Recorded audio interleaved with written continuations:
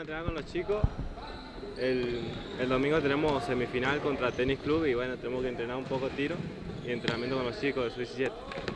A los 15 años empecé a jugar básquet, yo jugaba al fútbol antes. Bueno, por problemas de la escuela no pude seguir jugando al fútbol por la escuela y bueno, vi al Andrés en el club y me, me gustó básquet y empecé a jugar.